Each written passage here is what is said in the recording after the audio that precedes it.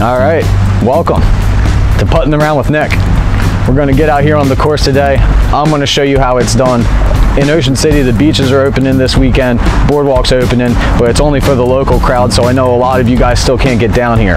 So I'm gonna show you guys how to get a hole-in-one on three of our best holes here at 45th Street Beach Ball Golf. Come with me. All right, everybody, we're here at hole two. Pretty straightforward shot. It's a par two. There's a little, there's three pillars in the way. I think I can get it past them though. Let's do it. All right, gonna go the roundabout shot here.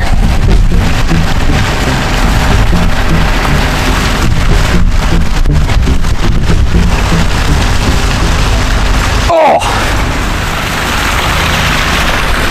Ah, that's a two, it's a par. On to the next one. All right, we have hole 10 here. This is a crazy one. Got to go over or through the river and then downhill past the log, hopefully into the hole at the bottom. Let's do it. All right.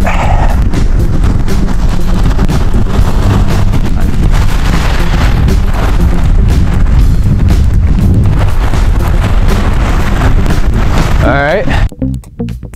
Through the log, into the hole we go. God! Close. All right. We'll finish this up. And it's wet here. All right.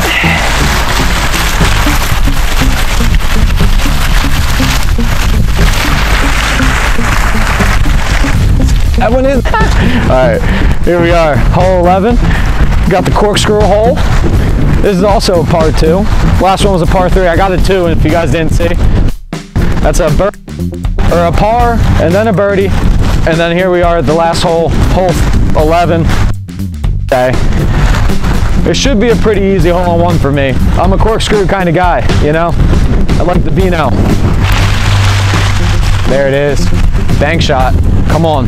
Got a chance. Got a chance. Come on. Oh, okay. That was close. That's one. Now when your ball's too close, come on, get in here, camera guy. I need to move this back. When your ball is too close to the bricks to get a full swing in, you're allowed to bring out the length of the club head here. All right, so now here we go. Second shot on the corkscrew. Just gonna tap her in. All right, and that's a two. All right, everybody, that does it for me today. Thanks for watching Putting Around with Nick. Hope you guys subscribe to the channel. And uh, I hope sometime this summer you guys can get as good at mini golf as me. That's a one under par for the first day of Putting Around with Nick. Gonna be tough to beat that. Anyway, I'm out of here.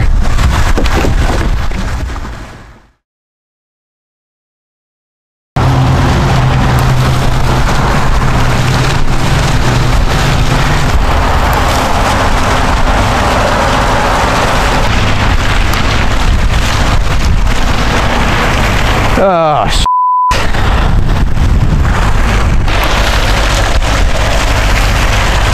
Hit the ball, you idiot.